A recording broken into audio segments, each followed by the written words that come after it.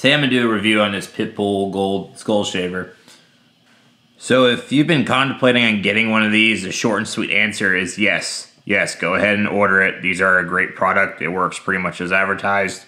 There were there were quite a few bad reviews and stuff on Amazon, but uh, I think some of that may have just been improper usage, which I'll talk about here in a minute. But um, I'm going to pretty much go and answer any questions you're probably wondering about this. So the first thing you're probably wondering is how close to the shave are you going to get with something like this?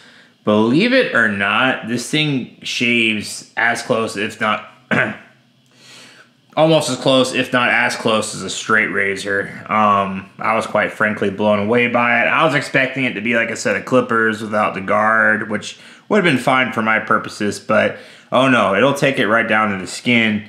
Um, you may be able to feel a little bit of stubble, especially as the blades get some wear on them, but it won't be anything that you can actually see. Now, how much hair will something like this cut through? Um, I would recommend using it in intervals of about two or three days. But um, I have had my hair about as long as a buzz cut, maybe about as long as what a number one guard on a set of clippers would leave, and it cut through that. Um, the general rule of thumb with these is the longer your hair is, the slower it cuts. So I don't know what I've never actually like tried to torture test the thing and see what the max limit is, but um, as long as you're you're not you know I don't know pushing like number two or number three um, guard territory, you should be fine. Will it irritate your skin? I have no, had no issues with this irritating my skin whatsoever as long as you use it on your head. And I've gone around my you know ears and temples and everything and I haven't had any problems. That being said, if you do go to the base of your neck, you will get razor burn there. So you can only use this on your head. You cannot use this on any other part of your body. And I think that may have been where some of the bad reviews are coming from is some people probably try to shave the back of their neck and all that. And I've done that myself, and it will give you razor burn if you do that.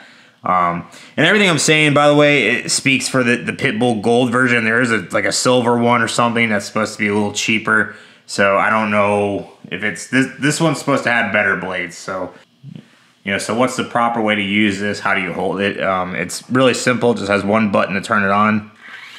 You got your battery display going right there. Mine's currently at 65%. And that's really handy to have. I think the cheaper ones don't come with that, but um, it, it's worth it to have. You pretty much just use this like a palm sander on your head. Um, you either grip it, let's see here, like this and kind of go in a circular motion, or you could grab the top of it too. Um, or sometimes I'll kind of sweep and go back and forth as well. Um, it does cut pretty quickly. So can you change the blades on this? Yes, yes you can. All you do is just pull this right here. And in order to get them out, you twist this loose. And all your parts and stuff will pretty much come out. This is also how you will service and maintain this.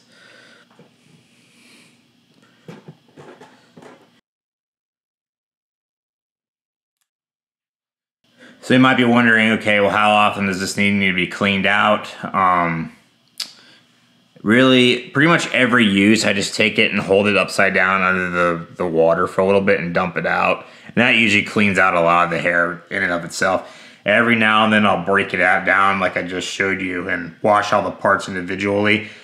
If you do that, be very careful because they're very easy to drop and have them go bouncing everywhere.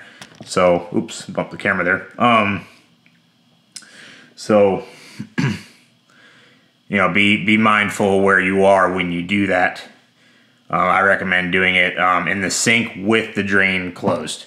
Now, this is advertised to be able to be used wet or dry. So, um, if you're wondering what's the better way to go with that, uh, I personally prefer to use this in the shower.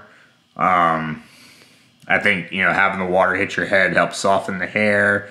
It helps cool the blades and just it just seems to work better that way. That being said, a buddy of mine who also has one of these, he shaves with it just um, he shaves with it dry, and um, he said he hasn't had any problems. So, I mean, like I said in the get go, this thing does work pretty much as it's advertised. Um, as long as you use it exclusively to shave your to maintain a bald head, you shouldn't have any issues. Um, so, what's the build quality like? You know, if you're wondering, you know, what are you really getting here? These are kind of pricey. I think most of the, the cost goes into the blades. Um, but this whole thing is pretty much made of plastic. It's not a cheap plastic per se. I'd still say it's pretty well made. And I mean, you're obviously you're not going to want something unless it's stainless steel or aluminum. You're not going to want that in a shower or a human environment anyway.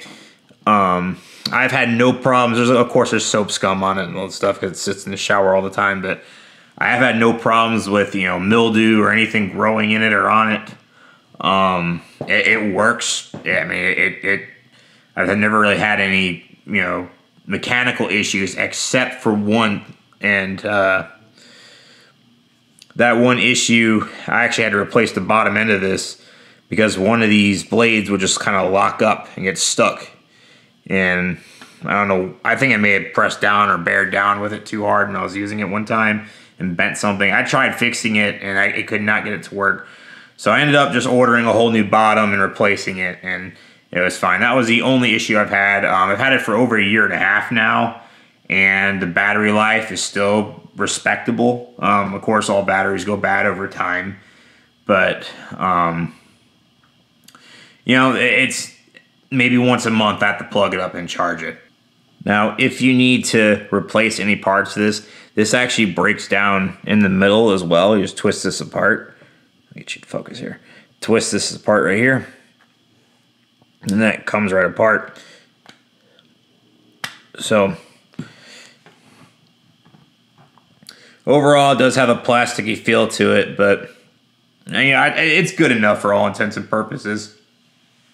And that's pretty much all I have to say. I hope I covered everything. If not, just leave a comment and I'll happily answer your question. Um, as of why I even did this review after all this, I mean, this channel is extremely random anyhow, but uh, I've just had several people ask me about these. And when I tell them I own one, because a lot of people are kind of curious to how they operate or how well they work. So I deemed it necessary. There were some other reviews on YouTube talking about these, but they're really long winded and just I don't know. I mean, if you're looking at a review, you just want the information. You just want to know if you want to buy it or not. And I'm gonna go ahead and tell you right now. Like I said in the beginning, go ahead and buy it. It's a great product. Um,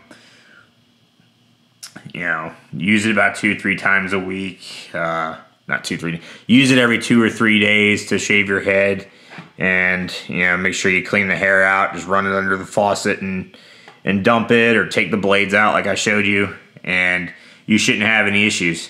So, um, thanks for watching, and that is all.